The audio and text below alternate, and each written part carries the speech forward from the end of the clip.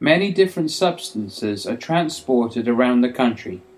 The emergency services need to know how to deal with spilt substances that might be harmful if there is an accident. Any lorries or tankers carrying these substances must have a warning sign. This tells people about the dangers of the substance so they know how to clear it up. A hazardous substance is dangerous if it is not used and stored correctly. It is important that people dealing with hazardous substances know how the substance might be dangerous.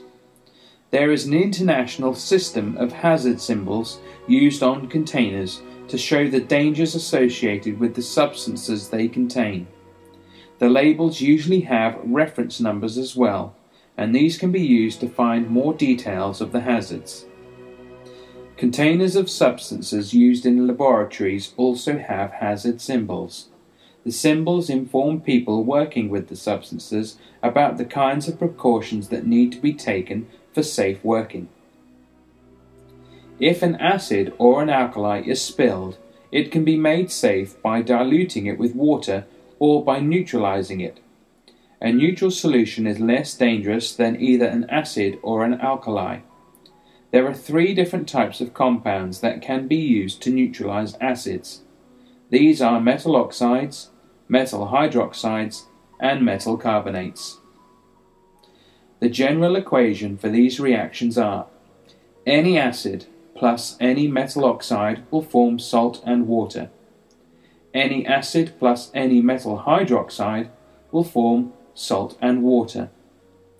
Any acid plus any metal carbonate will form salt, water, and carbon dioxide. The salt that is formed in a neutralization reaction depends on the acid.